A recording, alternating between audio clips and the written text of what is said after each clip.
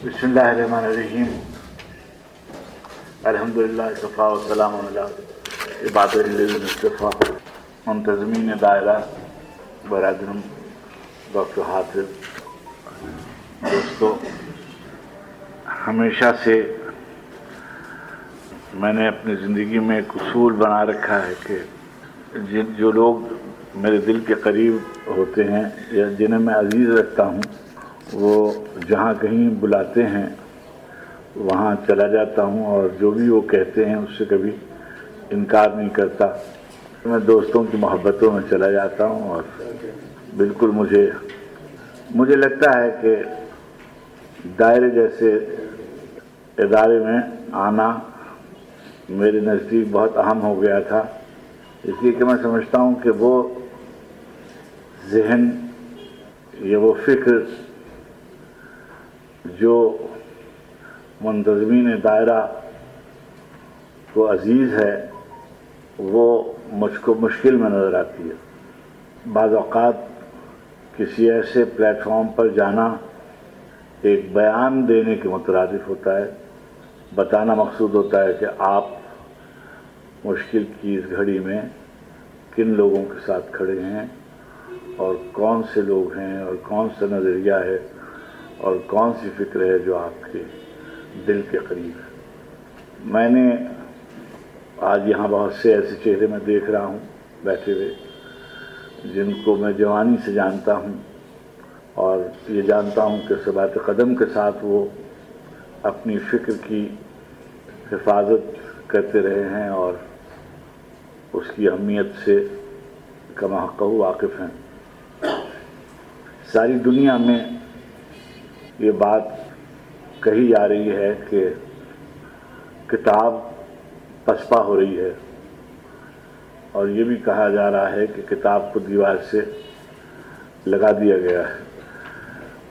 میرے لیے مرشد کی حیثیت رکھتے تھے اور اگر کوئی خدر مجھے مجھ میں موجود ہے، اللہ سبحانہ تعالیٰ کی توفیق و کرم کے بعد جن انسانوں کا اس میں ہاتھ ہے، اس میں سلیم احمد صاحب کی ذات گرامی بہت اہم ہے۔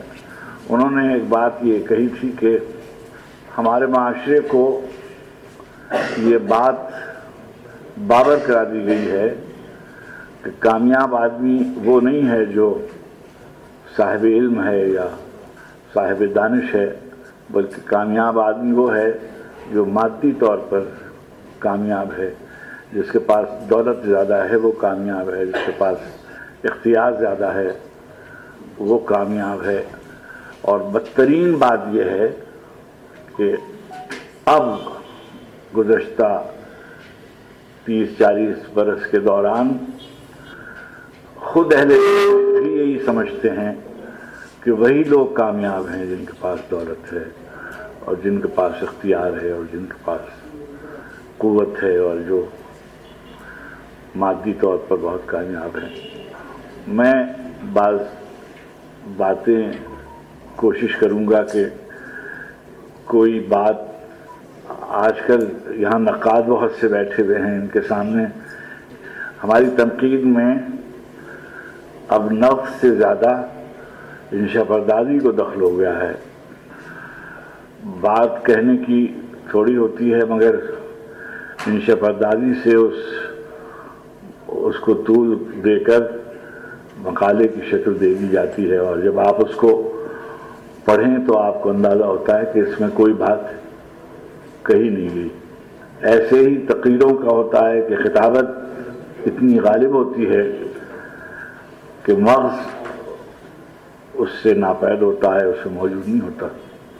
جو میری معروضات ہیں، اس میں کوئی آمیزش اس لیے نہیں ہے کہ میری عمر اب پچہتر برس کی ہونے آئی۔ اگلے مہینے سے میرا پچہترواں سال شروع ہو جائے گا۔ جی الحمد اللہ یہ مقام شکر ہے کہ اس نے بہت ہی عطا فرمایا اور بعض اوقات خوف آنے لگتا ہے۔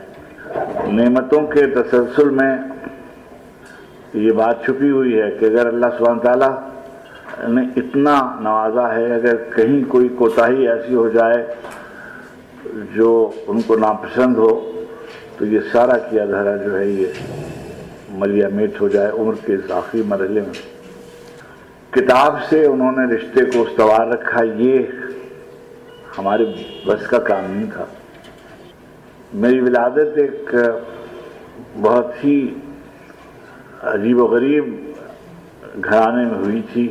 یہاں کے حساب سے میرے والد بہت متمول آدمی تھے اور ضرورت مند آدمی تھے۔ میری والدہ کا تعلق فقہ جعفریہ سے تھا، مگر ان کی ساری تربیت ان کے جو دوسرے والد تھے، سوتیلے والد تھے، وہ فقہ حنفی سے تعلق رکھتے تھے، انہوں نے کی تھی۔ میرے والد، اہل سنت سے تعلق رکھتے تھے۔ یہ میں اس لیے بتا رہا ہوں کہ تعلیم کا شوق دونوں گھرانوں میں نہ ہونے کے برابر تھا۔ میرا جو ابھی بھی گھر ہے، جہاں میرے، میری دوسری والدہ سے جو میرے بھائی بہن ہیں، وہ رہتے ہیں، وہ فرنگی محل میں ہے۔ لکھنؤ ایک جگہ ہے جہاں سے میرا تعلق ہے۔ بانوے برس مسلمانوں کا اقتدار اس شہر پہ رہا۔ لیکن مسلم تاریخ میں یہ بانوے برس تہذیبی اعتبار سے سربت بندی کے بہت تہذیبی مراکز میں اس کا شمار ہوتا تھا۔ برہان الملک صدر جنگ سے لے کے اور واجد علی شاہ تک نوے بانوے سال کا عرصہ ہے اور دس نو حکمران ہیں۔ مگر اردو کے نشو نما میں دین کی تبلیغ کے سلسلے میں، فقہ کی کے عروج کے سلسلے میں، تحریکوں کے حوالے سے، موسیقی کے حوالے سے، فنون کے دوسرے اصناف کے حوالے سے اس شہر میں بہت نامور شخصیتیں پیدا ہوئی جب میں نے ہوش سنبھالا تو جس محلے میں میں رہتا تھا، اس کے بالکل سامنے والے گھر میں آپ ایسے سمجھیے، مدرسے فرنگی محل تھا اور مجھ کو داخل کرا دیا گیا درس نظامیہ کے لیے مدرسے نظامیہ فرنگی محل میں۔ مولانا سبقت اللہ شہید رحمۃ اللہ علیہ، حضرت مولانا عبد الباری صاحب رحمۃ اللہ علیہ، مولانا عبد الوہاب صاحب فرنگی محلی رحمۃ اللہ علیہ، مولانا عبد الحی یہ وہ بزرگ تھے جو میرے زمانے میں حیات تھے اور جنہوں، جن میں سے بعض سے میں نے مثلاً سبقت اللہ شہید صاحب نے مجھے براہ راست پڑھایا، شروع کے ابتدائی مراحل۔ میں نے غالباً آمد نامہ بھی اسی جگہ پڑھا۔ فرنگی محل میں بعض ایسے لوگ ہوتے تھے جو آپ کے سامنے سے گزر رہے ہیں کہ یہ رضا انصاری صاحب ابھی گزرے ہیں، یہ ہاشمیہ فرنگی محلی یہ گزرے ہیں، یہ مولانا عتیق الرحمان صاحب تشریف لائے ہوئے ہیں، یہ حیات اللہ انصاری ہیں، یہ یہاں رہتے ہیں وغیرہ۔ جو فرنگی محل کے جو علماء تھے وہ بانی ادرس نظامی، حضرت ملا نظام الدین رحمۃ اللہ علیہ کے خانوادے سے تعلق رکھتے تھے۔ اور سب حضرت ابو ایوب انصاری اللہ رضی اللہ عنہ کے خانوادے سے تھے اور صحیح معنی میں طرفین کی طرف سے انصاری تھے۔ میرے گھر سے، میرے جہاں میں پیدا ہوا، جہاں میں نے ہوش سنبھالا، اس سے برابر ایک مسجد ہے جو چھوٹی سی، وہ میرے دادا نے تعمیر کرائی تھی اور اس سے متصل جو گلی ہے گھرانہ وہ خاندانی اشتہاد وہاں رہتا تھا۔ خاندانی اشتہاد کا مطلب یہ ہے کہ فقہ جعفریہ کے سب سے بڑے مرکز سے جن کا تعلق تھا۔ آل غفرام آب وہاں رہتی تھی۔ غفرام آب دلار علی غفرام آب پہلے شیعہ مشتحد ہیں جنہوں نے بد صغیر میں فقہ جعفریہ کی مسجد قائم کی اور ان کے فقہ کو کو مدون کیا۔ میرے زمانے میں جو لوگ حیات تھے اور جن سے ان میں سے یونیورسٹی کی سطح پر میں نے مولانا سید علی نقی صاحب نقوی رحمۃ اللہ علیہ، جنہوں نے تاریخ اسلام بھی لکھی ہے اور جنہوں نے شہید انسانیت جیسی بڑی کتاب لکھی ہے۔ اور علامہ محسن نواب صاحب امدت العلماء وہاں پر اس اس طرح کے لائقے بہت استعمال ہوتے تھے۔ سلطان العلماء، سید العلماء، محسن اس اس طرح کے نام۔ تو ایک طرف کو شیعی مرکز تھا اور دوسری طرف کو آپ کہیے کہ یہ دینی مدرسہ تھا نظامیہ، مگر اس میں وہ اس طرح کے مدرسے نہیں تھے جیسے عام طور پر دینی مدارس ہوتے ہیں۔ یہ علمی طور پر یہاں منطق بھی، فلسفہ بھی اور یہ تمام علوم پڑھائے جاتے تھے۔ گھر سے بہت ذرا سی دور پر ایک بہت بڑا ادارہ تھا، ندوۃ العلماء۔ میرے زمانے میں مولانا ابو الحسن علی ندوی کے بڑے بھائی، حضرت مولانا ابو العلی صاحب، ڈاکٹر صاحب جو تھے، وہ اس کی نگرانی کر رہے تھے۔ جمعے کی نماز میں کبھی کبھی ہم جب یونیورسٹی سے نکلتے ادھر وہاں شیخ الحدیث حریمتا صاحب رحمۃ اللہ علیہ کے بعد شاہ شبیر حتا صاحب جن کے ساتھ بڑے بھائی یہاں، شاہ حسنتا صاحب یہاں ریڈیو پاکستان سے وابستہ تھے اور میرے سینئر میں تھے۔ علمیہ وہاں تھے، منظور نعمانی، مولانا عبد الماجد دری آبادی کو میں نے ندوۃ العلماء میں دیکھا۔ تبلیغی جماعت کے جو سالانہ اجتماعات ہوتے تھے، وہ ندوے میں ہوتے تھے۔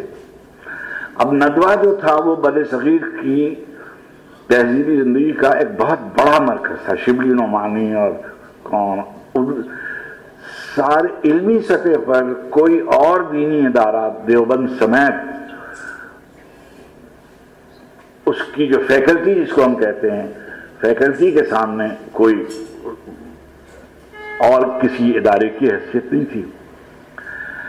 اب یہ وہ چہا دیواری تھی جس میں میں نے آنکھیں کھولی اور میں نے دیکھا کہ یہ حضرت جوش بندی آبادی یہاں پر رہتے ہیں، نواب جعفر خان اسد صاحب کا یہ گھر ہے۔ یہ جو گھر ہے سامنے والا، اس میں مرزا یگانہ چنگیزی رہتے ہیں۔ یہ جو صاحب جا رہے ہیں، یہ آرزو لکھنوی ہیں۔ یہ مجاز، یہ جو شیروانی پہنے ہوئے نوجوان جا رہا ہے، یہ اسرار الحق مجاز ہیں۔ یہ پروفیسر احتشام حسین ہیں۔ یہ یہ وہ ہیں جو براہ راست میرے اساتذہ میں تھے۔ احتشام حسین صاحب، مسعود حسن رضوی، عبداللہ خان خلیل، نور نور الحسن ہاشمی یہ وہ لوگ ہیں جنہوں نے مجھ سے مجھے پڑھایا بھی ہے، میں نے جن سے براہ راست جن سے، جن کے ٹیٹوریل کیے ہیں، جن سے بات دانت جن کی کھائی ہے، جن سے باتیں سنی ہیں۔ جب اسکول میں گیا تو حامد اللہ افسر میرٹھی صاحب میرے استادوں میں تھے اسکول کے استادوں میں علی عباس حسینی صاحب اور مولانا حامد اللہ افسر میرٹھی صاحب میرے گھر کے کونے پر ایک چھوٹی سی لائبریری تھی وہاں پر ایک آنے کی ایک آنا لائبریری کہلاتی تھی وہ اور شروع شروع شروع میں میرے جو نانا تھے وہ مزدوری مزدوری کرتے تھے اور جو بھی شام میں جو بھی فراہم ہوتا اس سے گویا چولہا جلتا تھا۔ مگر ان کو پڑھنے لکھنے کا وہ پڑھے لکھے آدمی اس ان معنی میں نہیں تھے۔ مگر ان کو اسلامی تاریخ کا بہت شرف تھا۔ چنانچہ وہ میرے لیے ردی کی کتابوں میں پاکستان بن چکا تھا۔ لوگ اپنی لائبریریاں چھوڑ کر پاکستان بھاگائے تھے۔ اور وہ لائبریریاں ردی کے بھاؤ اتوار کے بازار میں رکھی جاتی تھی میرے نانا اتوار کے اتوار نخاس بازار میں جاتے اور دیوان خرید کے لے آتے تھے۔ ردی میں تلوا کر اسلامی تاریخ کی کتابیں یا دیوان اور لغات۔ گھر میں دو کمروں کا گھر آپ اسے کہہ لیجیے الماری کے نام پر تو کوئی چیز ایسی نہیں تھی، مگر جو دیواروں میں الماریاں بنی ہوتی ہیں، اس میں میں نے اپنے نام کے ساتھ لائبریری لگا رکھا تھا اور اس میں وہ کتابیں میں سجا کے رکھتا تھا۔ شروع سے میں بیت بازی کے لیے مجھ کو میری والدہ نے بہت سے شعر یاد کرا رکھے تھے۔ تو شاعری کا شغف تھا، وہ صبح سے شام تک ایک پینسل ہوتی تھی جو سرخ اور سیاہ دونوں رنگ کی اور وہ اس سے نشان لگاتے تھے الف اور یہ اور یہ ایسے شعر۔ یہاں عبدالعزیز صاحب صاحب بیٹھے ہیں، انہوں نے ان پہ کام کیا ہوا ہے۔ جو میرا ننیال تھا، اس کے گھر کے بالکل سامنے ایک بہت بڑا بر صغیر کا ایک بہت بڑا آدمی آرام فرما رہا ہے۔ حضرت مولانا عبد الرحمن سندھی رحمۃ اللہ علیہ مواحد اگر محمد پٹھان صاحب یہاں تشریف فرمائیں۔ بہت نوجوانوں کو شاید نہ معلوم ہو کہ بر صغیر میں وحدت الوجود پر سب سے اہم کتاب کلمت الحق ہے جو اس جگہ لکھی گئی تھی۔ اور وہ سندھ کے مجھے وہاں یہ بات نہیں معلوم تھی کہ وہ سندھی تھے۔ میں جب پاکستان آیا تو میرے ایک بزرگ، جن کا میں اپنے استاد اساتذہ کی طرح لحاظ کرتا تھا، احترام کرتا تھا اور ان قدموں کو ہاتھ لگا تھا مولانا غلام مصطفیٰ صاحب قاسمی رحمۃ اللہ علیہ، انہوں نے مجھے ان کی تفصیلات سے آگاہ کیا۔ میں نے وہ کتاب بھی وہاں نہیں پڑھی تھی۔ لیکن یہ مجھے معلوم تھا کہ سما کے سلسلے میں ان کا ایک موقف تھا۔ اور مسجد کا فرش فرش سما سے ملا ہوا تھا۔ چنانچہ ان کی زندگی میں بھی ان پر فتوے صادر کیے گئے تھے۔ میرے نانا ایک عجیب و غریب شخصیت کے مالک تھے۔ ان کو علماء سے انحراف تھا۔ مگر جیسے ہی اس کا زمانہ آتا، وہ مجھے وہاں ضرور لے جاتے تھے۔ وہاں سما کی محفل میں تمام اشعار فارسی کے پڑھے جاتے تھے۔ ابھی اردو کا چلن محفل سما میں عام نہیں ہوا تھا۔ اودھی میں تصوف کا کلام پڑھا جاتا تھا۔ جو نوجوان یہاں بیٹھے ان کے لیے میں جسارت کر رہا ہوں بزرگوں سے کہ قوالوں کے جو جو کی جو ٹولیاں آتی تھیں، ان کو چوکی کہا جاتا تھا۔ وہ تین تین قوالیاں پڑھتے تھے فارسی کی۔ ہماری کو سمجھ بھی نہیں آتا تھا، لیکن ہم سماعتوں میں وہ چیزیں رہ جاتی تھیں۔ چنانچہ میں اس وقت سے ان فارسی شعراء کے ناموں سے آشنا تھا جو بعد میں میں نے بالاستعاب اپنی حیثیت پر جن سے میں نے استفادہ کیا۔ مجلسیں ہوتی تھیں جہاں مرثیے پڑھے جاتے تھے، نو تصنیف۔ انیس اور مرزدبیر کے خانوادے کے لوگ جمع تھے وہاں۔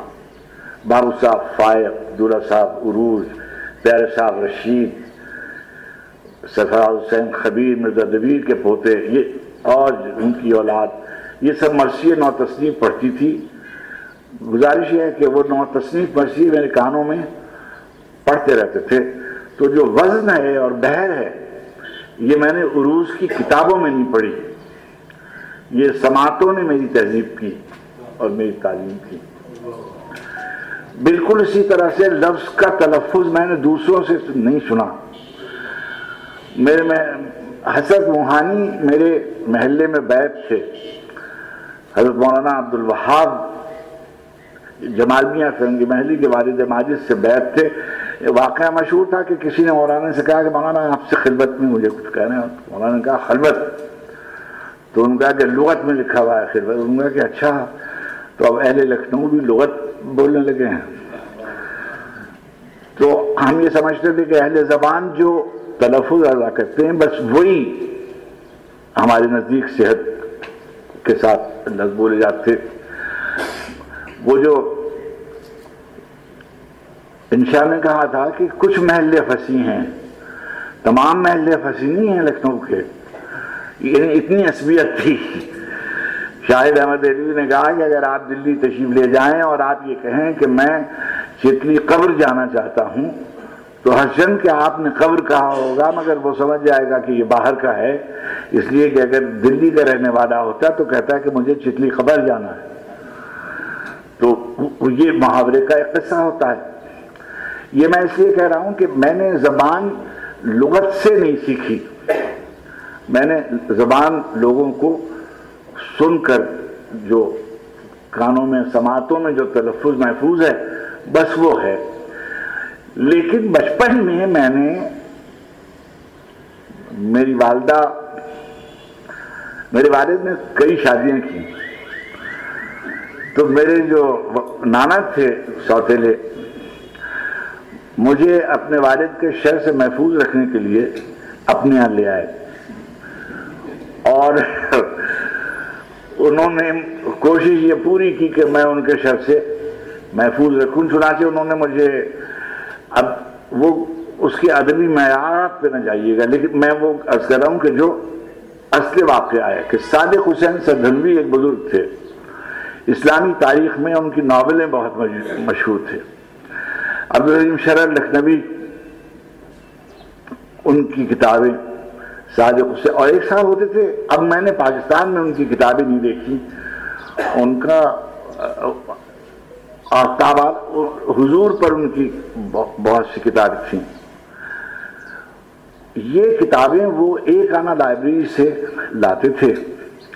اسی زمانے میں اجرا ہوا تھا جاسوسی دنیا کا اور رومانی دنیا کا۔ ابن سعید صاحب اور ابن صفی صاحب ان کی کتابیں آنے لگی تھیں تو وہ میں ایک آنا لائبریری سے لے آتا تھا۔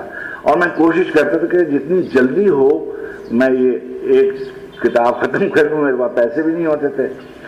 تو وہ، لیکن وہ لوگ مجھے کتاب انہیں معاف فرما دیتے تھے، اگر میں نے بس یہ ایک دن میں کتاب نہیں خریدی۔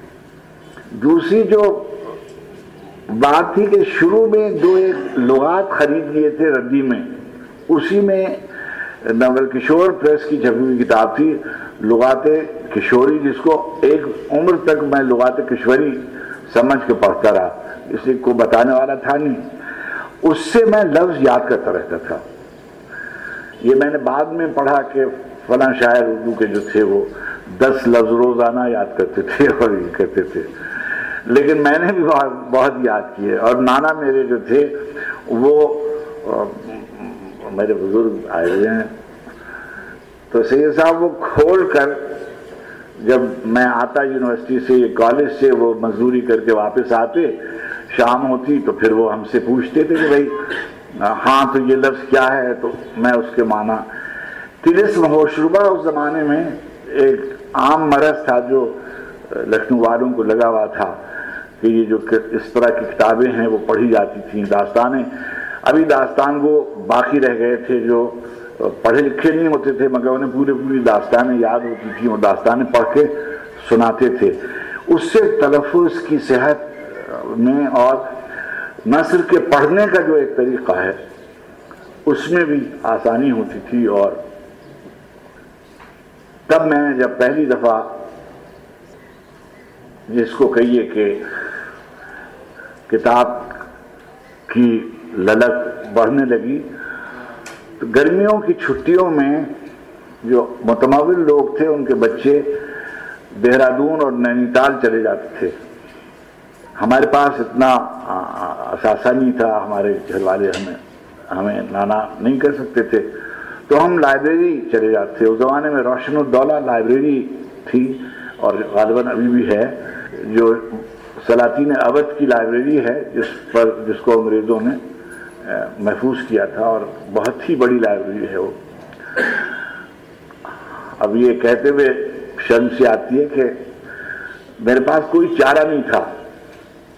چارانے روز کے مجھ کو ملتے تھے اور میں بابا جب کام پہ چلے جاتے تو میں لائبریری چلا جاتا اور دو مہینے آٹھ دن تک لائبریری میں صبح کو جا کر شام تک کوئی ایک کتاب اور جو الماریاں تھیں اس کے حساب سے پڑھتا تھا۔ کہ یہ میں نے یہ الماری ہے، یہ اس دفعہ میں یہ پڑھوں گا اور اور یہ میں شاعری پڑھوں گا اور یہ میں تو وہ کیونکہ اس وقت نہیں معلوم تھا، مگر اب معلوم ہے کہ ترتیب سے رکھے ہوئے ہوتے تھے کہ بھائی شعرا ہیں تو وہ ترتیب سے اس کی انڈیکسنگ ہوئی ہوتی ہوگی۔ میں یہ میں اس لیے کہہ رہا ہوں کہ مجھے اس وقت یہ نہیں اندازہ تھا، میں تو بس یعنی شرف میں ایسے کتابیں رکھی ہوئی ہیں تو ایک کتاب لے لی اور کاپیاں خریدنے کی استطاعت نہیں تھی تو وہ دستے سے کاغذ لے آتے تھے، دستہ لے آتے تھے کاغذ کا اور اس کو وہ کر کے اور کتاب کی شکل بنا کے دے دیتے۔ اس پر میں شعر لکھ لیا کرتا تھا۔ جب میں بیت بازی کے لیے جاتا تھا تو بعض اوقات ایسا ہوتا تھا کہ اتنے مجھے شعر یاد تھے کہ ابھی وہ یہ آپ دیکھتے ہیں صابع حسین نقی یہاں کے مشہور جرنلسٹ ان کے بھائی تھے، ان کا نام تھا رفیق رفیق کچھ اور وہ لکنت کرتے تھے ذرا سی۔ تو جب بسم اللہ الرحمن الرحیم، اور ابھی جب اس کا شعر شروع کرنا شروع کرتا تھا، تو میں کھڑے ہو کے اس کا جو جواب ہوتا تھا، وہ دینا شروع کر دیتا تھا۔ اور ہمیشہ وہ یہ سے شعر پڑھتا تھا یہ یہ سہر جو کبھی فردا ہے، کبھی ہے امروز، نہیں معلوم کہ ہوتی ہے۔ کہاں سے پیدا؟ تو میں الف سے شعر شروع کر دیتا ہوں۔ مجھے بے تحاشا شعر یاد تھا۔ اور ہر بیت بازی کے انعام میں مجھے کہیں نہ کہیں، کوئی نہ کوئی پہلا، دوسرا پہلا، دوسرا انعام مجھے مل جاتا۔ اچھا اس زمانے میں انعام میں کتابیں دی جاتی تھیں۔ اور کیونکہ اہل لکھنؤ متاثر بھی بہت تھے۔ تو وہ صرف لکھنؤ والوں کی کتابیں انعام میں دیتے تھے۔ تو شجاع صاحب کی کتابیں میں دہادی رسوا کی کتابیں اور یہی یہی کتابیں۔ بعض بعض نسخے میرے پاس کئی کئی تھے۔ اچھا کیا ہوتا تھا وہ کتابیں؟ میرے لیے فخر کی بات ہوتی تھی۔ اس کو میں سجا کے اپنی الماری میں رکھ دیتا تھا۔ ابھی تک اس میں سے بہت سی کتابیں میرے پاس ہوں گی۔ تو شعر میں نے اس وقت یاد کیے۔ جب میں انٹرمیڈیٹ میں آیا اور جب یہ طے ہوا کہ اب مجھے کوئی مضمون منتخب کرنا ہے پڑھنے کے لیے، تو جیسا کہ میں نے گزارش کی کہ میرے پاس بجلی اطراف کے گھروں میں تھی، مگر میرے یہاں بجلی نہیں تھی۔ تو لالٹین کی روشنی میں ہم پڑھتے تھے، جو ہم لوگ اس کو ادھار کہتے تھے، وہ بوتل میں جو مٹی کا تیل لا کر رکھ دیا جاتا تھا۔ مغرب کے وقت کھانا کھا لیا جاتا تھا اور گیارہ ساڑھے گیارہ بجے تک پڑھنے کے بعد جو لالٹین کا تیل ختم ہو جاتا تھا اور نیند اچٹ چکی ہوتی تھی۔ تو اس وقت مجھے یہ ہوتا تھا کہ میں وہ شعر یاد، وہ جو میں نے پڑھا ہے، کورس کی چیز کوئی، تو وہ مجھے یاد کرنے میں آسانی ہوتی تھی، اس کو میں دوہراتا رہتا تھا۔ یونیورسٹی جاتا تھا تو لوگ گاڑیوں میں جاتے تھے، کاروں میں سفر کرتے تھے، شہزادے پڑھتے تھے۔ شہزادیاں پڑھتی تھیں لکھنؤ یونیورسٹی میں، نوابوں کی اولاد پڑھتی تھی اور تو میرے پاس نہ گاڑی تھی، نہ میرے پاس پیسے تھے۔ تو میں پیدل گومتی کے کنارے آ جاتا تھا اور پیدل یونیورسٹی جاتا تھا۔ تو جو رات کو میں نے پڑھا ہوتا تھا، اس کو میں دہرایا کرتا تھا۔ اللہ سبحانہ تعالیٰ کس طرح مشکلوں کو نعمت میں بدل دیتے ہیں، اس کا اندازہ انہی لوگوں کو ہوتا ہے، ہوگا جو اس منزل سے گزرے ہوں گے۔ اس سے ہوا کیا کہ جو میرے حافظے کی صلاحیت اور لیاقت تھی، اس میں بہت اضافہ ہوا۔ مثلا مجھ کو، اب جیسے اس زمانے میں آپ کا پسندیدہ شاعر اب آپ کا پسندیدہ شاعر میں فرض کیجیے کہ میں نے یہ لکھا ہوا ہے کہ میرا پسندیدہ شاعر غالب۔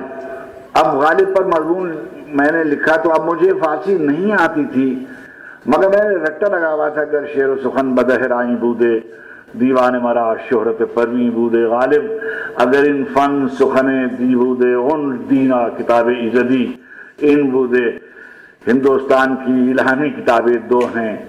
مقدس وید اور دیوان غالب لو سے تمتک یہ اتنے ہیں، اور کون سا پیکر تصویر ہے جو کاغذی پیراہن پر منازل عزیز قطع کرتا نظر نہیں آتا؟ وغیرہ۔ یہ مثلا میں نے میر پر، مجھے اب تک یاد ہے کہ میر پہ ایک دفعہ میں نے لکھا تو جو میں نے بچپن میں رٹا لگا ہوا تھا کسی کتاب سے کہ درشے سے تن پیمبر آنند ہر چند کے لا نبی آبادی۔ ابیات و قصیدو غزل را فردوسیو انوریو سادی۔ سوال ہوا کہ اور حافظ؟ جواب ملا وہ خدا سخن تھا۔ اردو شاعری بھی اپنا خدا رکھتی ہے۔ ہم اسے میر کہتے یہ کسی نے لکھا تھا وہ میں نے رٹو لگایا تھا۔ یہ مجھے اب تک یاد ہے۔ میں ابھی ایران سے جب واپس آیا تو اپنی کتابیں سنبھال رہا تھا، تو مجھے ایک کتاب میرے کورس میں تھی فلاسفی آف ہسٹری کے کورس میں آسفرڈ اسپینگلر کی، اور اس کے نوٹس میں نے دیے ہوئے تھے ڈکلائن آف دا ویسٹ تو میں نے جو نوٹس لیے ہوئے تھے، تو میں نے کسی کو کہا کہ یہ آپ پکڑیے، اس کے بعد جو صفحے آئیں گے، وہ سرخ روشنائی سے لکھے ہوئے ہوں گے، اور وہ سرخ روشنائی سے لکھے ہوئے تھے۔ اچھا میں میں گزارش کر رہا ہوں کہ یہ وہ انتظام ہوتا ہے قدرت کا، جو خود بخود وہ میں کوئی لالا نہیں ہوں، مگر دادے کی ہدا بدلی جو ہے، یہ پہلے سے ہوتی ہے۔ یعنی ہم فقیروں کی بھی اور غریبوں کی بھی ہوتی ہے، صرف عظیم لوگوں کی نہیں ہوتی۔ اللہ سبحانہ تعالیٰ کے لیے اس کی مخلوق کا ہر شخص بہت اہم ہوتا ہے۔ اس بات کا اعتراف کرنا چاہیے کہ اس نے ہمیں خلق کیا ہے۔ اور اس ہال میں بیٹھ کر میں یہ بات آپ سے کہہ رہا ہوں، ہر لمحے مجھ کو یہ احساس ہوا ہے کہ پروردگار عالم نے کبھی کسی شخص کو ایسی صلاحیت نہیں بخشی جس کی حفاظت اس نے خود نہیں کی ہو۔ اگر اس نے ہنر عطا کیا ہے تو کوئی آدمی صاحب جوہر سے اس کا ہنر چھین نہیں سکتا۔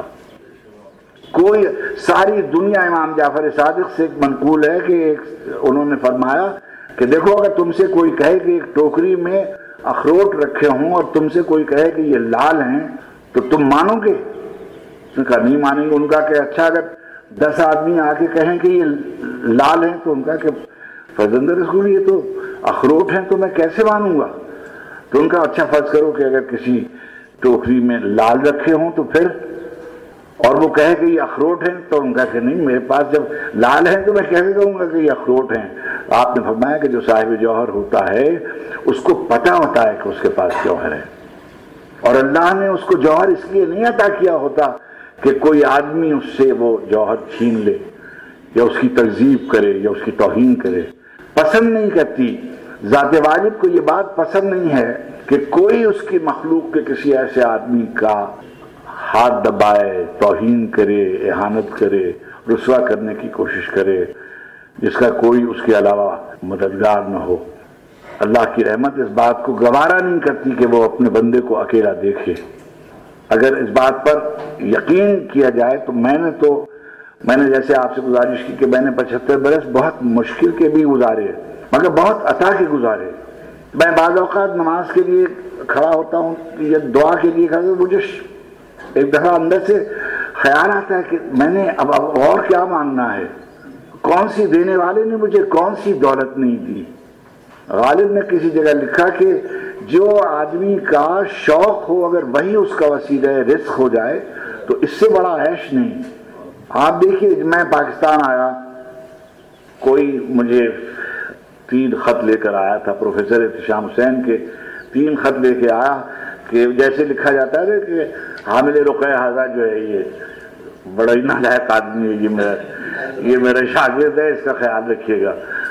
وہ میں ایک صاحب تھے، ڈاکٹر وحید مرزا، دائرہ معرف اسلامیہ کے صدر نشین وہاں لاہور میں، اور ایک صاحب تھے جن کا نام تھا فیض احمد فیض، اور ایک صاحب تھے جن کا نام تھا سید سفت حسن۔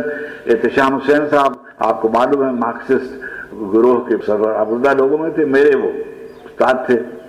میں آیا، مجھے کہیں نوکری نہیں ملی، تو میرے ایک دوست تھے، ان کا نام تھا یاور میدی میرے دوست نہیں تھے، میرے بڑے تھے۔ تو انہوں نے کہا کہ میں چھوڑو، تم اس نوکری کے چکر میں پڑے ہوئے ہو کہ تم یونیورسٹی جاؤ گے، پڑھاؤ گے، اور تم فلاں کالج میں جاؤ۔ تو حسین کاظمی صاحب کے یہاں لے گئے، اشتیاق حسین قریش صاحب مرحوم، ان کے یہاں لے گئے۔ اس زمانے میں سوسیالوجی ابھی نیا نیا ڈسپلن شروع ہوا تھا۔ یونیورسٹی اور کالجوں میں سوشیالوجی تھی نہیں۔ خیر، پھرتے پھر آتے رہے تو تنگ آ کر اب ہمارے پاس جو پیسے ہم لائے تھے، وہ ختم ہو رہے تھے۔ وہ ہمیں لے گئے اور لے جا کے انہوں نے آڈیشن کرایا اور آڈیشن میں ہم ہو گئے۔ اب ہم خبریں پڑھنے لگے۔ آپ یقین کیجیے گا کہ کبھی بھی یہ نہیں چاہا تھا کہ ہم شو بزنس میں جائیں گے، لیکن ہمارے پاس کوئی چارہ نہیں تھا۔ ٹی وی آیا، ہم وہاں اشتہار نکلا اور جن کے بارے میں یہ کہا جاتا تھا کہ وہ بہت ہی یہ میں یہاں بیٹھ کر تو میں شاید وہاں بیٹھ کر بھی یہ میں کہہ چکا ہوں، اس لیے میں مجھے یہاں بیٹھ کر کہنے میں یعنی میں کراچی میں بھی بات کہہ سکتا ہوں۔ اور یہ میں نے کیونکہ کہی ہوئی ہے کئی دفعہ کی بات۔ الطاف گوہر صاحب کے بارے میں یہ خیال تھا کہ وہ بہت متاثر پنجاب کے آدمی ہیں، مگر ایسا نہیں تھا۔ سلیم گیلانی صاحب پنجاب کے آدمی تھے۔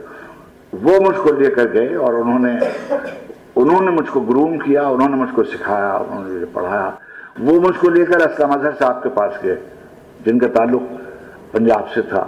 انہوں نے کہا کہ یہ عبید اللہ بیگ اور قریش پور اور افتخار عارف یہ تین لڑکے ہمارے یہاں ہیں۔ یہ فاضل اوقات میں کسوٹی یہ کرتے رہتے ہیں۔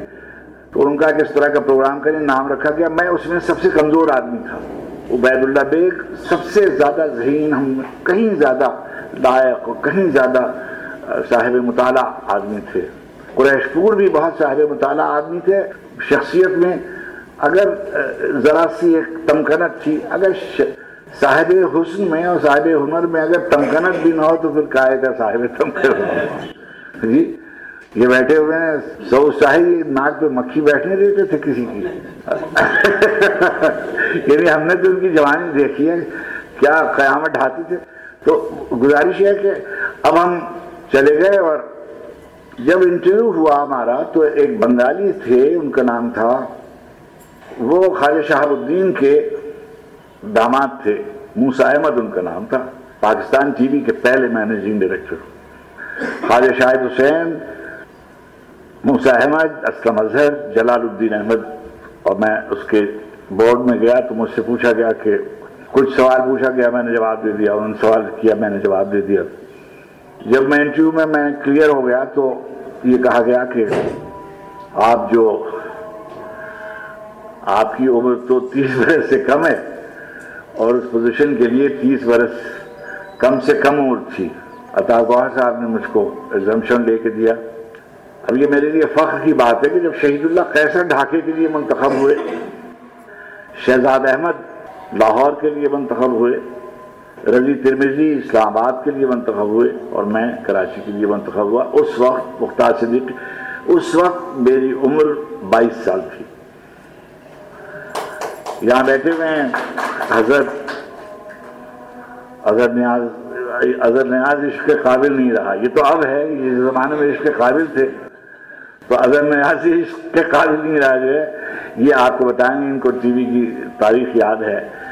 میں کم یعنی کم عمر ترین سینے پروڈیوسر تھا۔ پھر جب میں یہاں سے ملک سے باہر چلا گیا، برٹش لائبریری تھی۔ آپ کبھی مجھے، اس قدر لطف کسی چیز میں نہیں، اللہ نے مجھے مجھے محروم رکھا بہت سی نعمتوں سے اور یا یا بچائے رکھا بہت سی بدتوں سے اور اس نے کتاب میں جتنا مجھے سکھ پہنچایا۔ میری بیٹی جب رخصت ہو رہی تھی میں ان سے بہت محبت کرتا ہوں۔ شاید دنیا میں اور تو میں کوئی محبت وغیرہ میرے بس کا کام نہیں تھا، مگر ان سے تو میں جب رخصت کر رہا تھا انہیں، تو میں نے ان سے کہا کہ بیٹے میں تم سے بہت محبت کرتا ہوں مگر تم سے بھی زیادہ محبت کرتا ہوں اپنی شاعری سے۔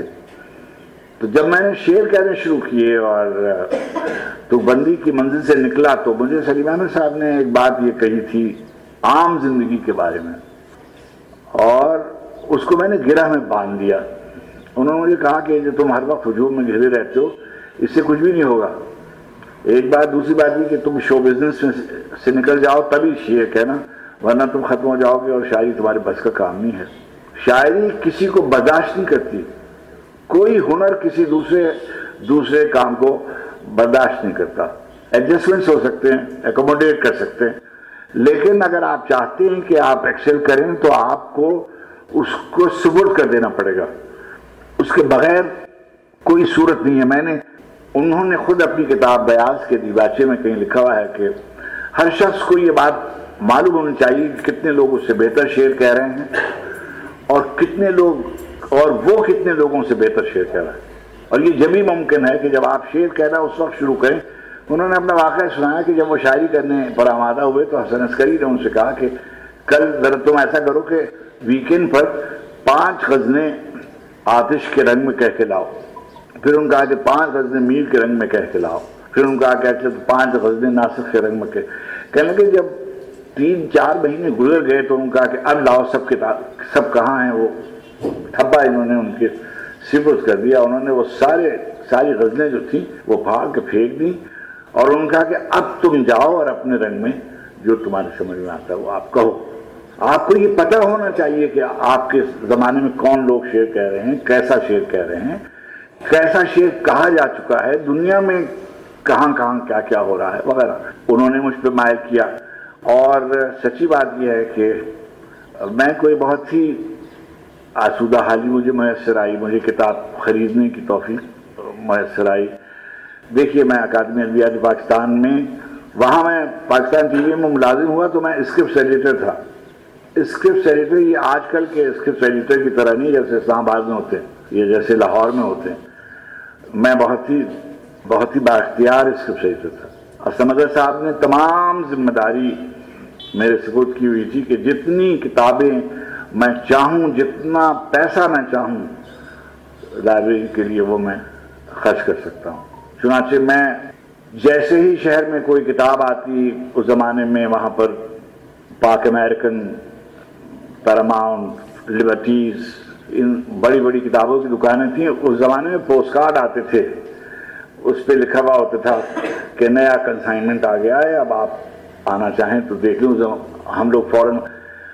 میری نیاز مندی میری اوقات ہی نہیں تھی کوئی۔ اس وقت بھی میں خالد صاحب صاحب، مرحوم مغفور، کمال فاروقی صاحب، ذوالفقار علی بھٹو، اے کے بروہی یہ وہ لوگ جو کتابوں کے شوقین تھے۔ پہلی کنسائنمنٹ ہوتی تھی اور یہ وہاں پہنچ جاتے تھے۔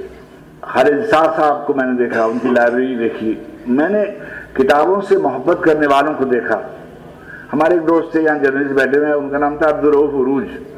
ہر اتوار کو اور ہر پہنچ جاتے تھے دیگر چوک اور پرانی کتابیں دیکھتے رہتے تھے اور پڑھتے رہتے تھے اور ان کو ایک ہی شوق تھا کتابوں کے سلسلے میں۔ تو یہ جو کتاب ہے اس سے بہترین دوستی، رہنمائی، سب کچھ اس سے ملا۔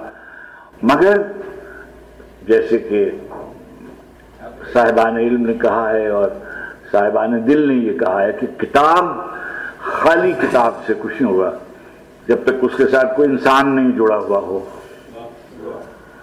خالی کتاب آپ کو راستہ نہیں دکھاتی۔ جب تک شخصیت کوئی اس کے ساتھ جڑی نہ ہوئی نہ ہو۔ آپ نے یہ نام رکھا پیچھے۔ اب یہ جو دائرہ ہے یعنی دائرہ علم اللہ سے شاہ ولی اللہ کے دائرے تک اور سید احمد شہید بریلوی کے دائرے تک اور اسلامی تہذیب کے دائرے تک، کتنا کتنا علم اور کتنی دانش آپ کے علماء کی ہمارے تو علم ہی نہیں ہم تو ہمیں تو یہ بھی نہیں معلوم اب۔ میں ابھی نور پٹھان صاحب سے کہہ رہا تھا کہ میں کوئی مہمان ہمارے جا رہے ہیں غیر ملک، تو میں نے ان سے کہا کہ یہ لیتے جائیے۔ قرآن حکیم کا پہلا ترجمہ شاہ ولی اللہ محدث دہلوی رحمۃ اللہ علیہ سے ایک سو پینتیس سال پہلے مخدو محمد نوح نے کیا تھا۔ میرے استاد گرامی ان کے استاد گرامی غلام مصطفیٰ قاسمی صاحب نے اس کو ری ایڈٹ کیا، اس مسودے کو، اور چھاپا۔ ملک میں کتنے لوگ ہیں جو یہ جانتے ہیں؟ ہمارے کتنے لوگ یہ جانتے ہیں کہ معدبات رشیدی جو اردو، جو فارسی عربی کی پہلی لغت ہے، پہلی لغت یہاں نہیں، پوری دنیا میں وہ یہاں لکھی گئی تھی۔ سید محمد راشد الحسینی نے لکھی تھی، پیر اسلام الدین راجی کے دادا پر دادا کوئی۔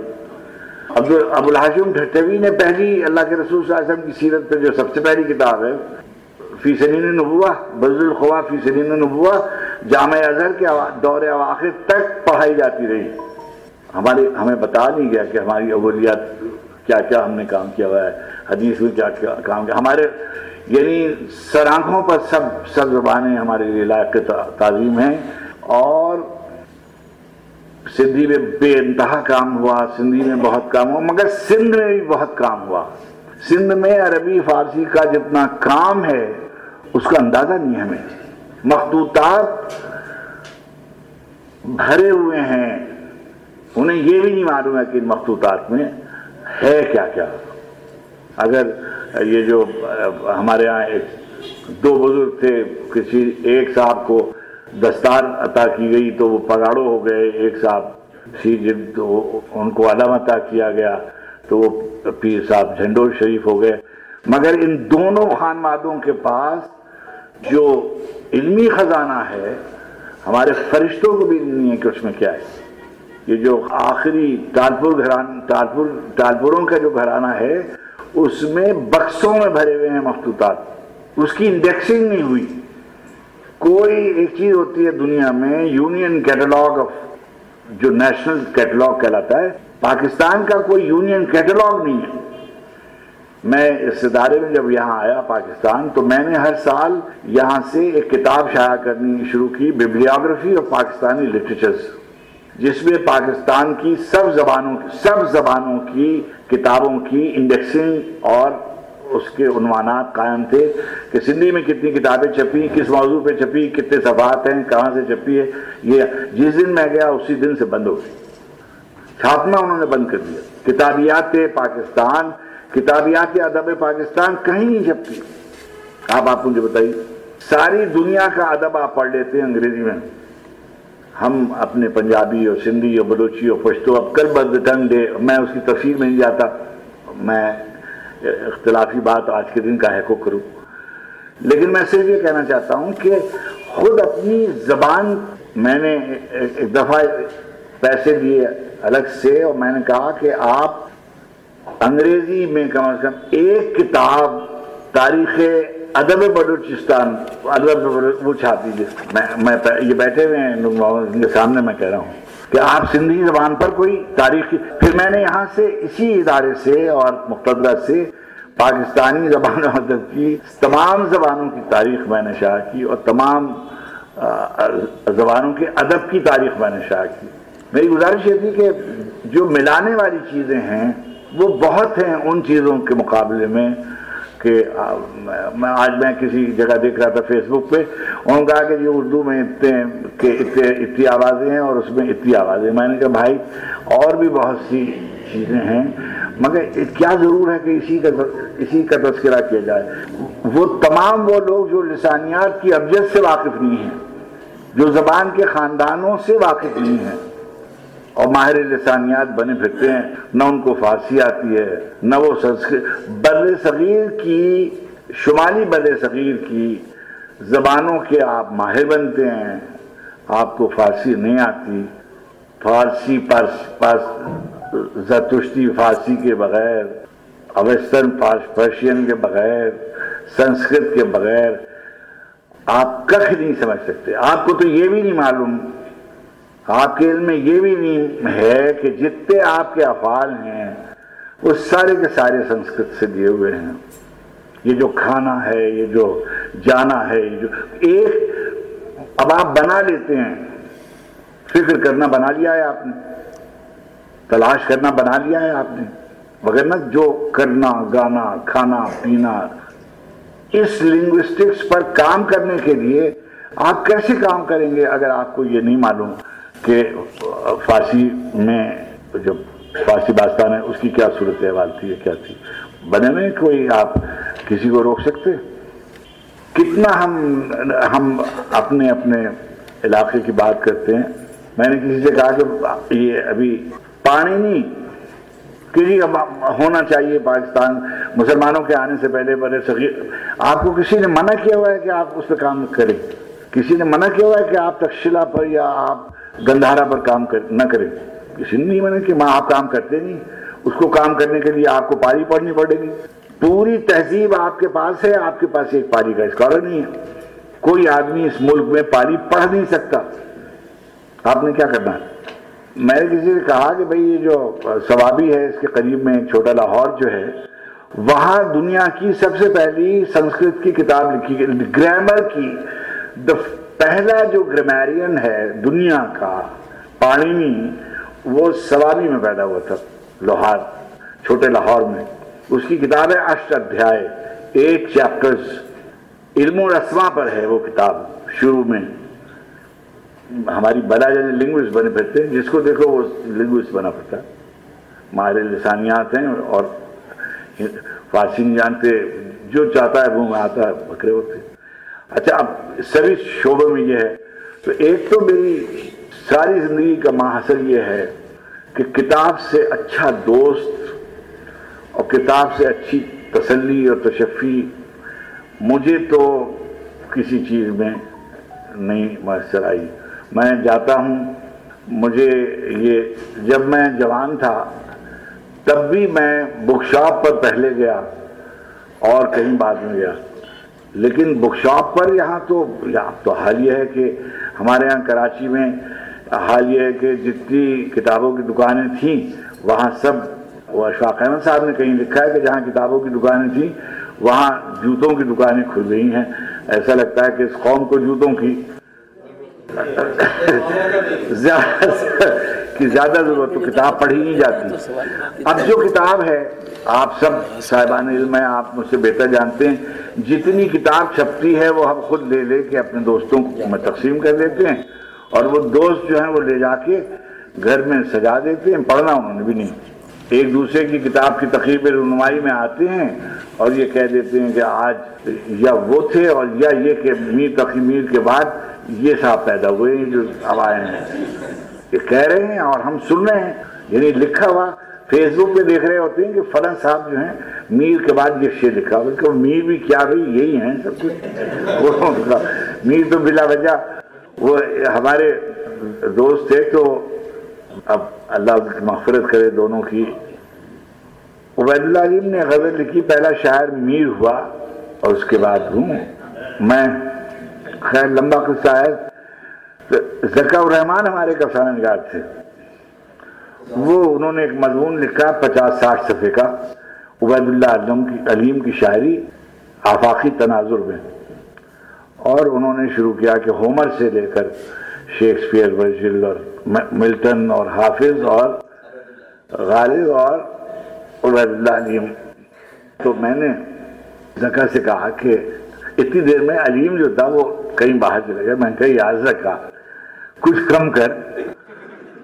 تو ہمارے جو میرے نمبر ٹو تھے، ان کا نام تھا مدبر رضوی۔ کہنے لگے، سر، آپ بیچ میں نہ بولیں غالب سے کم پہ تو وہ خود آمادہ نہیں ہے۔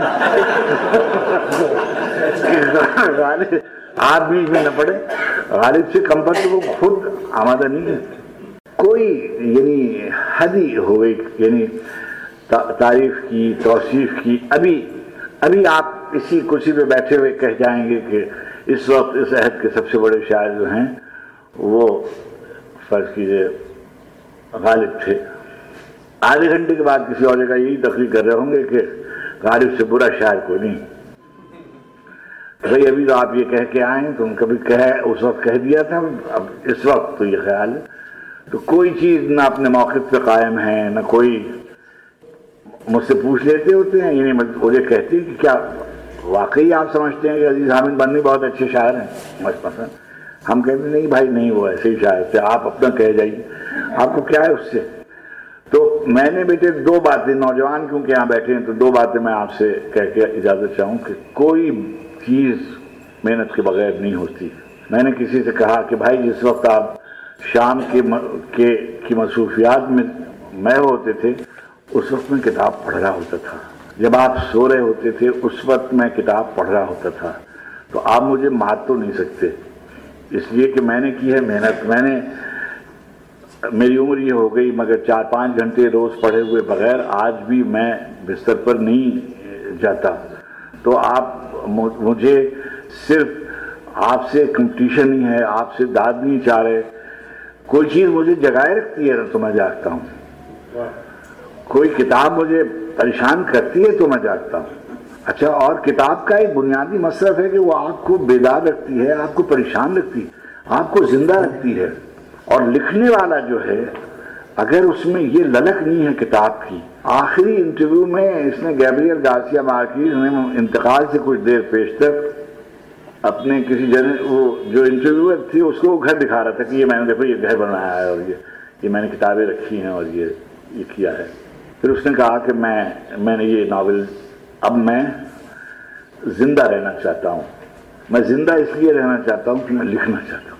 اور میں لکھنا اس لیے چاہتا ہوں کہ میں زندہ رہنا چاہتا ہوں۔ تو میں ایک چھوٹی سی بات آپ سے کہوں کہ میں نے میرا ایک انٹرویو کیا، ایک بہت مشہور انگریز یہودی رائٹر، شاعرہ ہیں اور پروڈیوسر ہیں، ان کا نام ہے ایلین فینسٹائن۔ انہوں نے مارنا ستارہ بڑے لوگوں کے ترجمے کیے۔ تو بی بی سی سے ایک پروگرام ہوا پوئس ان ایگزائل وہ شاعر جو ملک سے باہر رہے تو میرا بھی انٹرویو کیا۔ اس انٹرویو میں انہوں نے مجھ سے کہا کہ صاحب اس کا فارمیٹ یہ ہے کہ ہم باتیں کریں گے، وہ آپ سے کرے گا باتیں آخر میں ایلین جو ہیں، یہ آپ کی ایک نظم کا ترجمہ کریں گی اور وہ آپ انگریزی میں پڑھیں گی اور آپ اپنی زبان میں پڑھیں گے۔ تو میں نے وہ نظم ان کو سنائی تو وہ کہنے لگی کہ اس کا پس منظر کیا ہے۔ وہ اسی پہ میں اپنا اختتام کرنا چاہتا ہوں کہ میں نے ان سے کہا کہ میں میری زندگی میں ایک صاحب ہیں۔ وہ یہ کہتے تھے کہ میں جا رہا ہوں نوکری کرنے اور اب میں کوئی کام نہیں کروں گا، اب میں شاعری نہیں کروں گا۔ جب میں نوکری کر چکوں گا تو میں ایک گھر بناؤں گا سمندر کے کنارے اور اس کی اس میں ایسا ہوگا اور ایک ایک, ایک اس کی سٹڈی ہوگی۔ سٹڈی کھڑکیاں جو ہیں وہ سمندر کی طرف کھلتی ہوں گی اور یہ میری اس میں لائبریری ہوگی اور تب میں بیٹھ کر لکھوں گا۔ بالکل ایسے ہی ہوا وہ ریٹائر ہو گئے انہوں نے گھر بنایا اور بنا خوبصورت۔ لیکن جب لکھنے بیٹھے تو وہ لکھ نہیں سکے۔ اس لیے کتاب تو آپ کا انتظار نہیں کرتی۔ اب میں جس زمانے میں برطانیہ میں کام کر رہا تھا تو میری بہت سی بہت آسودہ حال زندگی اللہ سبحانہ تعالیٰ نے مجھے عطا فرمائی اور میری بہت مناسب تنخواہ تھی۔ وہاں کے حساب سے بھی۔ تو میں نے ایک نظم لکھی۔ کتاب کیچڑ میں گر پڑی تھی۔ عجب گھڑی تھی۔ کتاب کیچڑ میں گر پڑی تھی۔ چمکتے لفظوں کی میلی آنکھوں میں الجھے آنسو بلا رہے تھے۔ مگر مجھے ہوش ہی کہاں تھا۔ عجب گھڑی تھی۔ کتاب کیچڑ میں گر پڑی تھی۔ چمکتے لفظوں کی میلی آنکھوں میں الجھے آنسو بلا رہے تھے، مگر مجھے ہوش ہی کہاں تھا؟ نظر میں ایک اور ہی جہاں تھا۔ نئے نئے منظروں کی خواہش میں اپنے منظر سے کٹ گیا ہوں۔ نئے نئے دائروں کی گردش میں اپنے محور سے ہٹ گیا ہوں۔ سلا جزا، خوف، بے یقینی، امید، امکان نا امیدی ہزار خانوں میں بٹ گیا ہوں۔ اب اس سے پہلے کہ رات اپنی کمن ڈالے یہ سوچتا ہوں کہ لوٹ جاؤں۔ عجب نہیں، وہ کتاب اب بھی وہیں پڑی ہو۔ عجب نہیں، آج بھی میری راہ دیکھتی ہو۔ چمکتے لفظوں کی میلی آنکھوں میں الجھے آنسو۔ ہوا و حرص و حوث کی سب گرد صاف کر دیں۔ عجب نہیں، میرے لفظ مجھ کو معاف کر دیں۔ تو مشکل ہوتا ہے۔ اب میں نے پچھلے دنوں جو میں غزل بہت مشکل سے لکھ پاتا ہوں، ایک دو شعر لکھتا ہوں، پھر کبھی چھ مہینے گزر جاتے ہیں، پھر کوشش کرتا ہوں کچھ لکھنے کی۔ یہ نہیں کہ میری خواہش نہیں ہوتی، مگر مجھ سے نہیں لکھا جاتا، اتنا ہی مجھ میں صلاحیت ہے۔ لوگ قلم برداشتہ لکھتے جاتے ہیں، اللہ نے ان کو توفیقات سے نوازا ہے۔ مجھ کو یہ توفیق نہیں ہوتی کہ میں ایک نشست میں نظم تو شاید لکھ لیتا ہوں، مگر غزل نہیں لکھا تو اس میں دو شعر لکھے تھے۔ ایک آگ کے تو مخاطب یہاں بھی ہیں۔ بدگمانی میں کبھی گاہ خوش اندیشی میں، بدگمانی میں کبھی گاہ خوش اندیشی میں کٹ گئی عمر مراسم کی کمی بیشی میں۔ بدگمانی میں کبھی گاہ خوش اندیشی میں کٹ گئی عمر مراسم کی کمی بیشی میں۔ ایک کتاب اور نئی آئی۔ نئے خواب کے ساتھ۔ ایک کتاب اور نئی آئی، نئے خواب کے ساتھ۔ ایک چراغ اور جلا حجرے درویشی میں۔ تو بس کتاب اللہ سبحانہ تعالیٰ کی عطا ہے۔ جتنی دیر آدمی اس کے سرحانے اس کو سرحانے رکھ کے آرام کرے، جاگے، کتاب کو دیکھے۔ میں تو آپ سے عرض کرتا ہوں کہ بعض اوقات ابھی میں دوبارہ کتابیں رکھ رہا ہوں صاف کر کے ایران سے آنے کے بعد۔ آپ یقین لیجیے کوئی کہ ایسے کتاب نکل آئی کوئی۔ ارے، یہ تو یہ کتاب تو مس ہو گئی تھی تو ابھی ملی نہیں۔ اچھا وہ مل گئی۔ کوئی کتاب مل جائے کھوئی ہوئی کتاب کہیں رکھ دی ہو اور وہ مل جائے۔ تو ایسا لطف آتا ہے کہ ساری دنیا کی دولت ہو گئی پوری رات۔ کبھی ایسا خیال ہوتا ہے کہ اس کمرے میں بیٹھے ہوئے ہیں، تو یہاں کتاب رکھی ہوئی ہے۔ وہاں جاتے ہوئے کوئی کتاب نکالی تو وہیں بیٹھ کے پڑھنے لگے اور رات گزر گئی۔ تو یہ جو دولت ہے، یہ اللہ کس کو عطا فرماتا ہے؟ تو بہت ہی توفیق ہے اس کی کہ ہم لفظ کی طرف رجوع کرتے رہتے ہیں اور اس تعلق کو استوار رکھا۔ اور میں نے، اور شاید میری زندگی کا جو سب سے بڑا کانفلکٹ بھی ہے وہ بھی وہی ہے کہ ایک طرف میرا دل ہوتا ہے جو کتاب ہے اور دوسری طرف دنیا ہوتی ہے جو مجھے کھینچتی ہے تو جو کتاب دل و دنیا ہے اس نے بہت مجھے پریشان کیا۔ اور مگر اللہ کا شکر ہے کہ اس نے مجھے کامیاب کیا۔ بڑی مہربانی۔ کوئی ایسی کتاب جس نے آپ کو بہت متاثر کیا ہو اور اس کے مصنف سے ملنے کا شوق پیدا ہو اصل میں دو دو دو آدمی ایسے تھے کہ میں دو دو تو کتابیں میں ایسی بتاؤں جن جنہوں نے میری زندگی میں کوئی اثر ڈالا۔ اس وقت بھی جب میں انگریزی نہیں سمجھ پاتا تھا، اس وقت بھی مجھے وہ دونوں کتابیں اچھی لگتی تھی وہ میرے کورس میں تھی، کورس میں میں نے ان کو پڑھا۔ ایک تو ڈکلائن آف دا ویسٹ جس کی اسپینگلر کی کتاب۔ اور دوسری کتاب تھی اسٹڈی آف ہسٹری میں نے اس کا شارٹ ایوریج ایڈیشن بھی پڑھا اور پھر بڑی کتاب بھی پڑھی ٹوائن بی کی۔ ٹوائن بی جب میں لندن گیا تو اسی زمانے میں ان کا انتقال ہوا، تو ان کو بھی میں نہیں دیکھ سکا اور اس کو بھی میں نہیں دیکھ سکا۔ لیکن جو لکھنے، پڑھنے میں آپ کو بتاؤں، بہت ہی مزے کا واقعہ ہے، یہ اچھا کیا آپ نے یاد دلا دیا۔ میں لندن میں رہتا تھا کہ میں نے خبر پڑھی کہ مولانا ابو اللہ مودودی علیہ الرحمہ جو ہیں وہ بیمار ہیں اور مجھے نہیں معلوم تھا کہ وہ کہاں ہیں۔ میں نے ٹیلی فون اٹھایا اور میں نے اس کو کہا اپنے سیکٹری کو کہ get me Maulana on line. تو اس نے کہا کہ سر وہ بفلو میں، وہ بفلو میں ہیں امریکہ میں ہیں اور کوئی بیوی ہے، وہ بول رہی میں کہ ملا دیں۔ وہ احمد فاروق بیگم ہماری بھابھی اس وقت میں ان سے نہیں واقف تھا تو انہوں نے کہا کہ وہ آرام فرما رہے ہیں، آپ نا وقت فون تھا۔ وہ مجھے معلوم نہیں تھا کہ ٹائم ڈفرینس کتنا۔ تو میں نے کہا کہ میں نے مولانا کو دیکھا نہیں ہے۔ اور میں ان کو عیادت کے لیے آنا چاہتا ہوں۔ تو انہوں نے کہا، آپ کہاں ہیں؟ میں نے کہا، میں لندن میں ہوں۔ ان کو یقین نہیں آیا پہلے۔ تو انہوں نے کہا کہ آپ جب مولانا جاگیں گے تو میں ان سے عرض کر دوں گی۔ تو تھوڑی دیر بعد ان کے شوہر کا، احمد کا فون آیا، جو بیٹے، ان میری بات، اب تو میری دوستی ہے، اسے تو احمد نے کہا کہ وہ کہہ رہے ہیں کہ ضرور آئیں، وہ آپ کو پہچانتے میں نے کہا جی مجھے پہچانتے میرا ایک دفعہ ان سے کوئی ایسے مسئلہ ہوا تھا۔ اب میں میں گیا، میں نیو یارک ایئرپورٹ پہ میں نے وہ خریدا کیمرہ اور اس میں وہ بھروائی ریل اور بعد وہاں پہنچ گیا مانا کہ ہم پھول لے کے اور سب۔ بہت سی باتیں لیکن جو بات کہنے کی وہ میں آپ کو بتاؤں۔ تو انہوں نے مجھ سے پوچھا کہ تو میں کہا سر مجھے تو کوئی دو اسباب تھے آپ کی طرف حاضری کے۔ ایک تو یہ کہ میں آپ میری زندگی میں حیات تھے، ہیں، اور میں نے آپ کو دیکھا نہیں ہے۔ تو میں چاہتا تھا کہ میں آپ کو دیکھ لوں۔ تو مولانا، جن لوگوں نے ان کو دیکھا ہے، تو وہ جیسے کچھ انہوں نے اس پر عمل کا اظہار نہیں کیا۔ دوسری بات میں نے ان سے کہی کہ میں نے آپ کے بارے میں کبھی ایک ناشائستہ بات کی تھی، تو میں اس کی معافی مانگنے آیا ہوں۔ مولانا نے تعمل فرمایا اور کہا کہ میں اس طرح کی معافی کا قائل نہیں ہوں۔ یہ جو ہمارے یہاں رسمی میں نے معاف کیا اور میں نے معاف کیا اور اس سے کوئی اس کا کوئی جواز نہیں ہے۔ معلوم ہونا چاہیے کہ کیا کیا تھا۔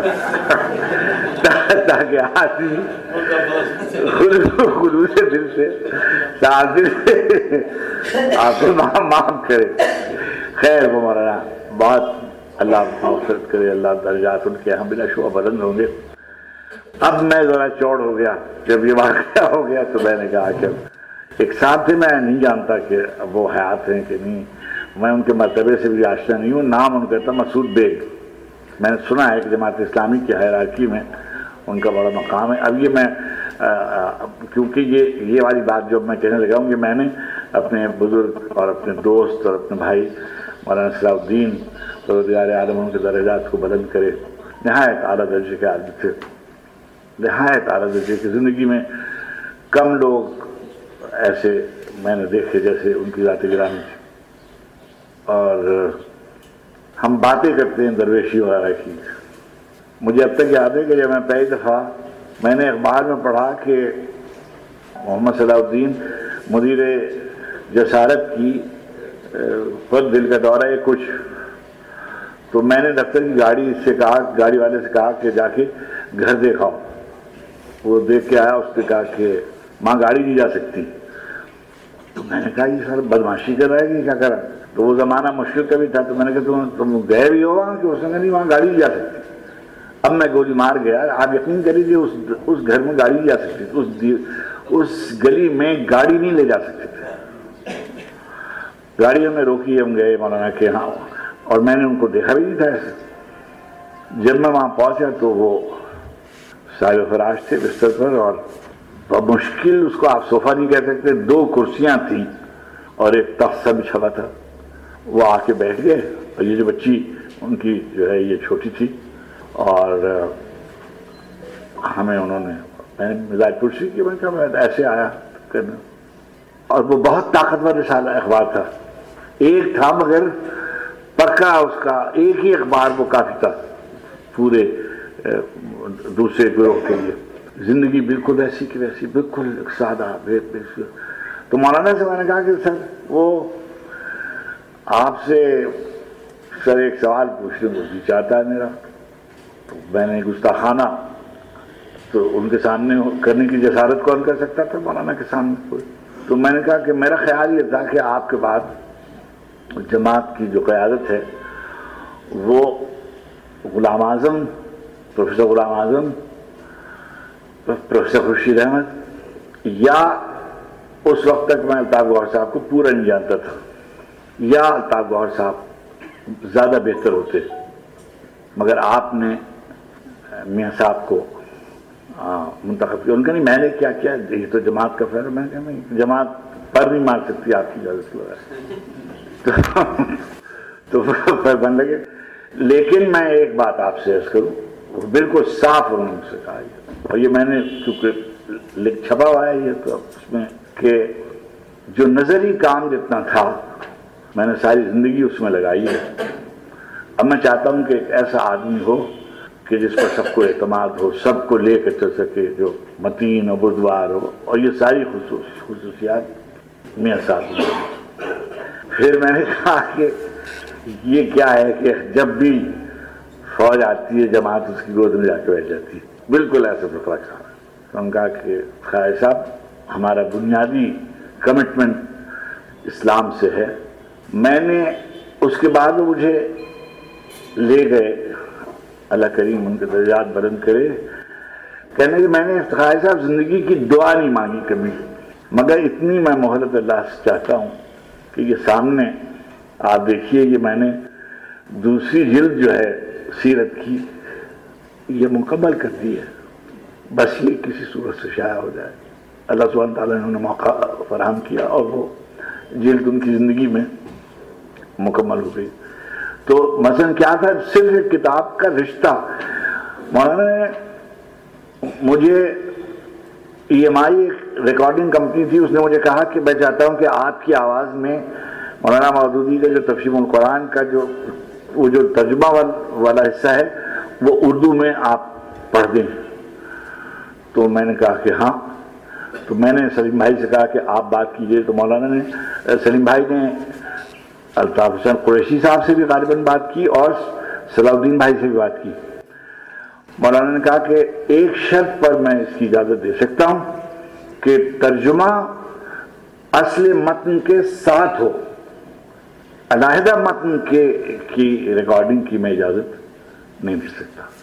اس لیے کہ جو سابقہ صحف میں تحریف اور یہ سب چیزیں جو ہیں، وہ اسی وجہ سے ہوتی رہیں کہ متون ان کے ترجمے میں نہیں نہیں۔ اب یہ، اب میں سوچتا ہوں کہ کیسی کیسی۔ چھوٹی چھوٹی باتیں، مگر آپ آپ کہہ رہے تھے، کوئی سوال کر رہے تھے۔ بچپن سے مطلب بار بار سنتے آئے ہیں، دیکھتے ہیں۔ اس کا کانٹیکٹ کیا تھا؟ میں بار بار ابھی بھی ایک ہوتا ہے نا کہ لائف ٹائم یونیورسل ہو گیا۔ بچپن میں بار بار فٹ بیٹھتا تھا مجھ پہ۔ اس ایج میں بھی لگتا ہے بڑھاپے میں بھی فٹ بیٹھے گا مجھ پہ۔ اس کا کانٹیکٹ کیا تھا؟ اللہ نہ کرے۔ ابھی تو آپ ابھی سے اگر آپ نے اپنے آپ کو ایسا کر لیا تو ہم تو مارے گئے بالکل۔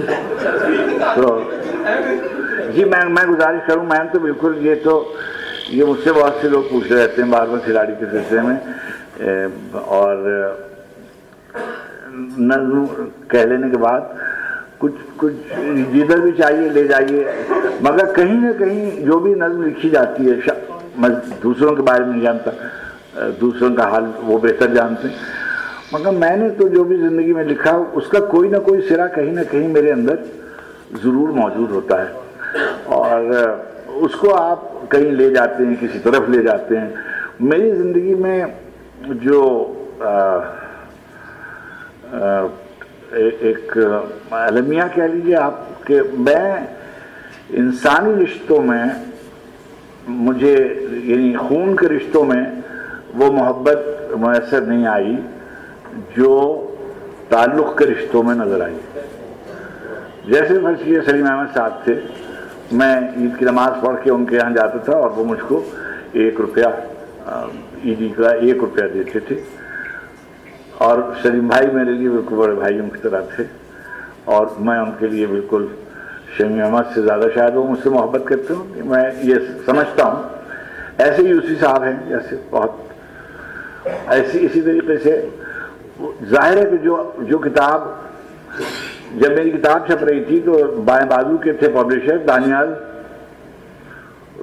انہوں نے کہا کہ اس میں تو سلیم احمد صاحب کی کا, وہ نہیں چھپے گا فلیپ اس لیے کہ وہ تو اس زمانے میں پولیرٹی بہت تھی۔ تو میں نے کہا نہیں چھپے گا تو ان کے یہاں کتاب بھی میری نہیں چھپے گی۔ اس لیے کہ میں تو ان کے بغیر خیر تو یہ تعلق کی نوعیت ہوتی۔ اور جو بارہواں کھلاڑی ہے یہ میری زندگی کا المیہ ہے کہ زندگی میں مجھے خون کے رشتوں سے وہ قوت نہیں ہر وہ رشتہ جو آپ کو ولریبل کر دیتا ہے، وہ اچھا رشتہ نہیں ہوتا۔ اچھے رشتے کی ایک پہچان یہ ہوتی ہے کہ آپ اپنے آپ کو مضبوط سمجھتے ہیں، آپ مستحکم سمجھتے ہیں۔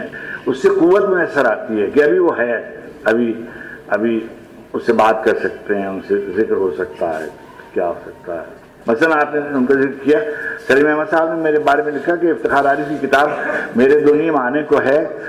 تب شاعری کے چوہوں کو پتہ چلے گا کہ ہاتھی کے کھانے کا روٹ کیا ہوتا ہے۔ یہ انہوں نے جسارت کے انٹرویو میں طاہر مسعود نے انٹرویو کیا تھا اور اس میں انہوں نے لکھا تھا۔ یہاں صاحبان علم و فضل جو موجود ہیں اس میں ہماری خوش قسمتی ہے کہ بین الاقوامی اسلامی یونیورسٹی اسلام آباد کے شعبہ اردو کے صدر نشین ڈاکٹر عزیز ہاں، ہیں ان کے پاس شمس الرحمان صاحب کا خط ہے بڑا دلچسپ۔ اس کی چند سطریں وہ۔ دیکھیے، یہ جو ہیں، یہ مروا دیں گے۔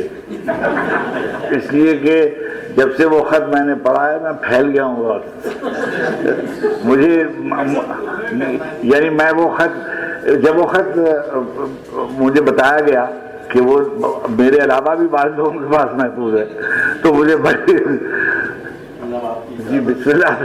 طرح کا خط ہے، ممکن ہے آپ کے پاس ہے یا نہیں ہے، تو میں آپ کو بھجوا دیتا ہوں۔ تو اب انہوں نے بات کی کہ سلیم احمد کی رائے، تو کسی شخص کے بارے میں اپنے زمانے کے بہترین لوگوں کی جو رائے ہوتی ہے، اس کی بہرحال ایک قدر و قیمت ہوتی ہے۔ تو سلیم احمد کی رائے تو آپ نے سن لی۔ کلاسیکی شعریات اور جدید شعریات میں شمس الرحمن فاروقی سے بڑا نقاد کوئی نہیں ہے۔ اپنی خاص حدود کے اندر۔ تو افتخار عارف صاحب کے نام ان کا ایک خط ہے، جس کے میں چند ایک جملے ہیں۔ کہتے ہیں کہ تمہارے شعروں میں یاد ہونے کی صلاحیت بدرجہ اتم ہے اور تمہاری معزون آواز میں چھپی ہوئی صلابت ان اشعار کو اور بھی بے نظیری عطا کرتی ہے۔ معزونی اس درجہ، خود احتسابی اس درجہ ابنائے زمانہ کی بے مہری اور بے تہی کا احساس اس درجہ اور پھر بھی عدم انفعالیت۔ ان سب باتوں کے باوجود یہ خصوصیت ہے۔ اب اسے بزرگوں کا فیض کہیں یا اپنی وابی قوت یا خدائے بخشندہ کی عطا۔ بات وہی رہتی ہے کہ لفظوں کو جوڑنے کا کام جسے آئے، وہی سرسبز ہو۔ میرا خیال ہے کہ اس وقت بر صغیر میں کوئی شاعر، بلکہ نثر نگار بھی تمہارے سوا ایسا نہیں ہے جسے ہمارے ادب ادب عالیہ کی لفظیات کا شعور اور عرفان اس درجے حاصل ہو۔ اقبال، غالب، بیدل میر انیس میر دز، ان سب کا نچوڑ ہے، لیکن رنگ اپنا ہے۔ انفرادیت کی بھی وہ شان ہے جسے طبیعت کی گل ایجادی کہیے لیکن جس میں بناوٹ کہیں نہیں۔ میں نے کئی بار سوچا ہے کہ تم لہجے کی شیرینی اور آہنگ کی بلندی کا وہ امتزاج پیدا کیا ہے جس کی مثال ڈھونڈنے کے لیے سو ڈیڑھ سو برس بلکہ شاید اس سے بھی زیادہ پیچھے جانا پڑے۔ لیکن مغنی تم ہمارے زمانے کے ہو اور خدا نے تمہیں مقبولیت بھی ویسی ہی عطا کی ہے۔ یہ ایک بہت بڑے آدمی کی رائے ہے۔ آج ہم خوش قسمت ہیں کہ بچپن سے لے کے کم سے کم میں اب تک جن کو اپنی انسپریشن سمجھتا ہوں۔ تو ان کا ہم زندگی اور کتاب بیتی اپنے کانوں سے سن رہے ہیں۔ بہت شکریہ یہ پرسوں کسی عام وہ جو اس کو کیا کہتے ہیں، فیس بک سب لوگ پڑھ سکتے ہیں۔ ایک ہوتی ہے، ایک کوئی چیز ہوتی ہے جو سب پڑھ رہے تھے تو اس میں کسی نے مجھے ملک سے باہر سے کسی نے لکھا کہ یہ نظم آپ نے محبت کی آخری نظم یہ کس کے لیے لکھی ہے؟ تو میں نے ان کو لکھا کہ بی بی یہ میری اکلوتی نظم ہے محبت کی اور اکلوتی خاتون کی لیے لکھی ہے۔ جن کے لیے لکھی ہے، ویسے انہیں کے لیے لکھی ہے۔ تو کوئی میں نے یہ کام زیادہ کیا نہیں۔ تو مجھے زیادہ کچھ اس کا پتہ بھی نہیں ہے اس علاقے کا، تو میری زندگی میں بس ایک کتاب ہے اور بالکل زیادہ برابر اس میں شاعرانہ مبارکہ بھی نہیں۔ میری زندگی میں بس ایک کتاب ہے، ایک چراغ ہے، ایک خواب ہے اور تم ہو۔ میری زندگی میں بس ایک کتاب ہے، ایک چراغ ہے، ایک خواب ہے اور تم ہو۔ میں یہ چاہتا تھا کتاب و خواب کے درمیان جو منزلیں ہیں تمہارے ساتھ بسر کروں۔ میں یہ چاہتا تھا کتاب و خواب کے درمیان جو منزلیں ہیں، تمہارے ساتھ بسر کروں۔ یہی کل اثاث زندگی ہے۔ اسی کو زیادہ سفر کروں۔ یہی کل اثاث زندگی ہے۔ اسی کو زیادہ سفر کروں۔ کسی اور سمت نظر کروں تو میری دعا میں اثر نہ ہو۔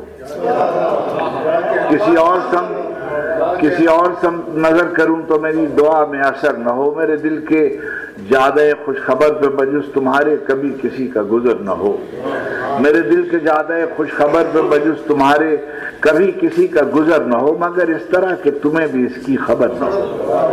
میرے دل کے زیادہ خوش خبر پہ بجس تمہارے کبھی کسی کا گزر نہ ہو، مگر اس طرح کہ تمہیں بھی اس کی خبر نہ ہو۔ اسی احتیاط میں ساری عمر گزر گئی۔ اسی احتیاط میں ساری عمر گزر گئی، وہ جو آرزو تھی، کتاب و خواب کے ساتھ تم بھی شریک ہو، وہی مر گئی۔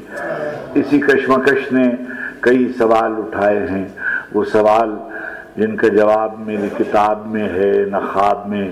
میرے دل کے زیادہ خوشخبر کے رفیق، تم ہی بتاؤ پھر کہ یہ کاروبار حیات کس کے حساب میں؟ میری زندگی میں بس ایک کتاب ہے، ایک چراغ ہے۔ ایک خواب ہے اور تم